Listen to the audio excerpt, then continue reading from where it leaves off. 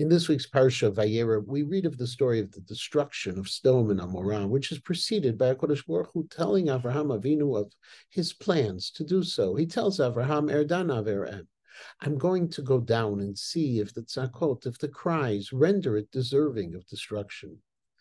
The 15th century work, the Medrash Habiur, explains that Erdana, those words, are the basis for what Chazal taught, Al tadin et chavercha ad shetagia limkomo, don't judge your friend until you reach his place.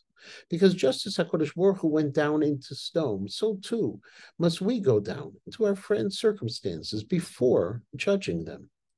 Rabbi Yehuda Leib Ginsburg, in his Yalkut Yehuda, goes a step further, basing himself on a comment of Rabbi Yosef Shaul Divrei Shaul, that when HaKadosh Baruch Hu went down into Sodom, in a sense, it was judging them by the appropriate and reasonable standards by which to judge those people. Because when HaKadosh Baruch Hu judges the world, he has to descend from his frame of absolute truth and enter into our fundamentally flawed mortal perspectives. HaKadosh Baruch Hu can't judge the world based on his perfection, but rather he takes into account our weaknesses and our limitations.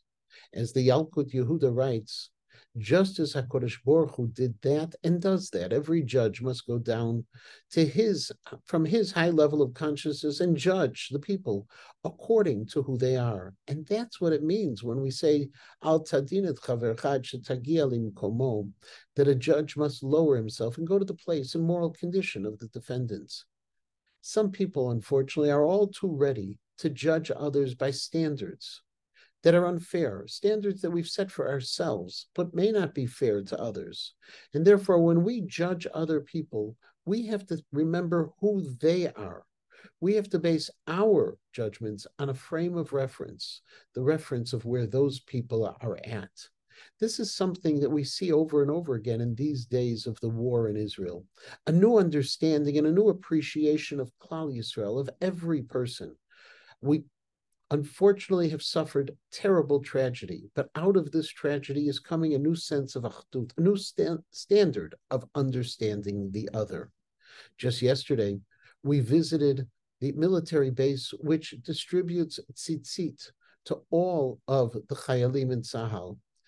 Tens of thousands of pairs of tzitzit have been distributed, and hundreds of thousands more on their way, not just to people who normally wear tzitzit, but to chayalim now who have a newfound appreciation for religion in their lives, a newfound appreciation for spirituality and for a sense of purpose because of the achdut we have.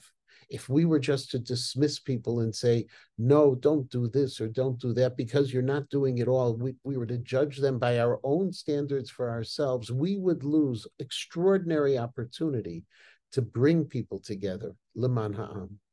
Fortunately, we've learned the lesson in a very difficult way, but please God, we'll remember this lesson, the lesson HaKadosh Baruch Hu tried to teach Avraham Avinu, and the lesson we need to remember of how to judge our fellow man and woman in the most positive of way, where they are, just as HaKadosh Baruch Hu came down to judge even the cities of Sodom.